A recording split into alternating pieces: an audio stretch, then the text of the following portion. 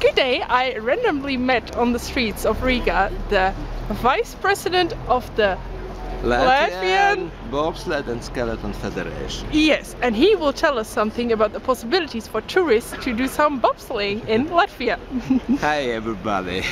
yes, uh, it is sure you can uh, have a possibility to go down with a real uh, bob with a professional driver and, and have some to get some kind of feeling from, from our sports. And this usually uh, will do our bobsled, Sigulda bobsled and luge track and uh, at uh, weekends and, and other days you, you can uh, you can uh, interest uh, in, in Sigulda Inform Center about this possibility.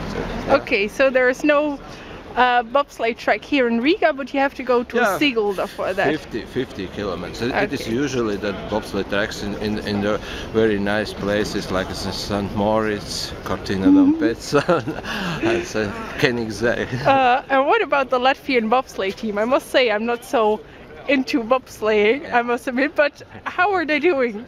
Uh, they, I can, I can tell that all uh, industrial hard countries like USA, Germans, uh, uh, Italians, uh, USA, uh, uh, Canada, Russians, they are very strong calculate with us.